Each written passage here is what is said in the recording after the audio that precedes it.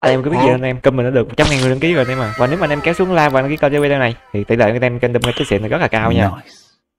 Ừ, cái này chắc là do lỗi anh em mà không không có gì đâu nên là anh em nhớ like đăng ký kênh nha. Hey vô xin chào anh em quay trở lại với channel của Star Vinh. Ở mình đây trong video trước mình đã hé lộ anh em một số thông tin liên quan đến chế độ update gì rồi đúng không? Thì trong video này chúng ta sẽ cùng tìm hiểu về những tin đồn mà anh em Love đang truyền tay nhau mà anh em không biết đó là thật hay giả nha. Ok, và trước khi video bắt đầu, anh em có thể là kéo xuống ấn like, đăng ký kênh. Kể là comment lại tên của anh em phần bình luận để mình có thể là gây tới một bạn may mắn ở trong video lần trước để kết bạn với anh em trong video này nha. Bây giờ thì chúng ta cùng bắt đầu vào nội dung video nào? Let's go! Đầu tiên phải kể đến trong video ngày hôm nay, đó có lẽ chính là cái hành trình mà sắp tới trong năm 2024 của Vlog Food mà anh em nhầm tưởng, đúng không? Thì chúng ta sẽ có một cái hình, đó chính là cái hình go, roadmap của gọi là 2024 trong Vlog Food nha. Thì ở trong đây chúng ta sẽ thấy ở bên trái cùng đó chính là một trái ờ, màu đỏ đỏ có một hình quả bóng, đúng không? Thì nghe đồn đâu đó chính là trái còng con reward và ở giữa thì mình cũng chưa biết là trái nào. Nghe nói đâu là trái Silot vậy á. Và cái hình cuối cùng ở bên ngay chân góc cao của mình. Thì ờ, trái này mình không không rõ là trái nào nha anh em? Tại vì mình là người gọi là tìm hiểu về phút gần đây thôi. Nhưng mà mình thấy á là ở trong cái hình đó nó có một trái mà mình nghĩ là nó giống với cái hình mà Amin đã từng đăng. Đó đây cái là chính là cái hình của Amin Gibbonga đã từng đăng trên cái trang Twitter của ổng. Đó thì nó sẽ có một trái đó chính là trái Kitsune. Thì trái này đã được Amin ra cách đây cũng cả gần cái tháng rồi anh em. Đó và trái bên trái là trái uh, ờ, Silhouette Seal đó thì đây chính là cái trái mà khả năng cao và trong năm nay chúng ta sẽ có ra mắt nha. Nhưng mà mình không biết là nó thời điểm nào. Thì uh, tạm thời chúng ta sẽ tin cái uh, thông tin này trước đã. Tại vì uh, thông tin này thì Amin mặc dù cũng chưa, chưa xác nhận. Tuy nhiên thì một trong hai thông tin là có xác nhận rồi chính là cái trái Kitsune đã được ra mắt rồi. Cho nên là chúng ta vẫn có thể là biết được tin này là xác thực nha anh em. Ok và cái thông tin thứ hai thì chắc có lẽ là nhiều anh em cũng đã mong chờ rất là lâu rồi và mình cũng đi vậy nha anh em mà mình rất là mong chờ luôn. Tuy nhiên thì thông tin này đối với mình bây giờ á khi mà mình xem xong thì mình nó bật ngửa luôn em mà nó photoshop mà té ngửa luôn.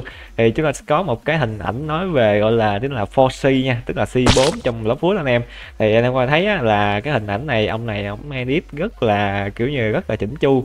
Nhìn nó không giống bất cứ một cái C nào cái thời điểm hiện tại chơi anh em. Đó thêm đề thêm chữ là 4C và hình ảnh ở xung quanh là hình tròn chính giữa và ở nằm trong một cái hình à, hình vuông nữa anh em. Đó thì nếu mà anh em để ý á, thì chúng ta sẽ có ở trên trang của là Lockfoot á nó sẽ có một cái hình đó chính là hình C2 và C3 đó thì mỗi C chúng ta sẽ có một cái biểu tượng riêng. Đó thì và kèm theo cái dòng chữ là tên của C đó. Đấy thì ở đây á là cái mà mình đang nói đây là cái tính xác thực nó là ở đâu. Tức là không có tính xác thực nằm chỗ nào hết trơn anh em. Vì ở bên còn chưa ra cái tin tức là C4 nó xác thực nữa thì làm sao mà mấy năm này ông có tin để mà ông đăng đúng không? Đó đây là Photoshop chắc luôn anh em mà không đường nào chạy khỏi hết trơn á. Và còn một cái nữa thì không biết là anh em có nghĩ giống mình hay không? Đó chính là liên quan đến cái chính là Red Moon anh em. Đó Red Moon. Thì hôm bữa mình cũng treo được cái Red Moon nè. Hôm bữa thì uh, anh em có Full Moon rồi Blue Moon đúng không? Bây giờ tới Red Moon. Nhưng mà thật sự đây là chính là Photoshop nha thì không chỉ Red Moon thôi anh em. Anh em muốn gọi là Green Moon hay là uh, Black Moon thì cũng được hết trơn đây mà thì đây chính là sản phẩm của Photoshop mà thật ra mình cũng có thể làm được nhưng mà không cần phải sử dụng tới Photoshop luôn.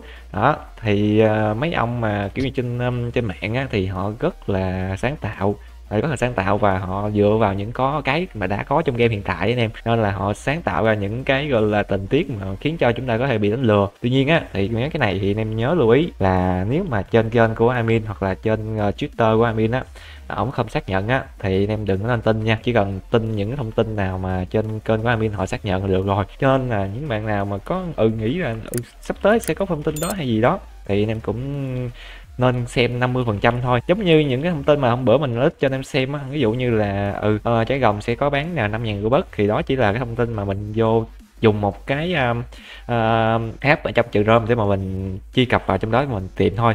Chứ thật ra là không có gọi là thông tin nào mà mình xác thực rằng ừ sẽ có một trái gồng năm ngàn rubik cả.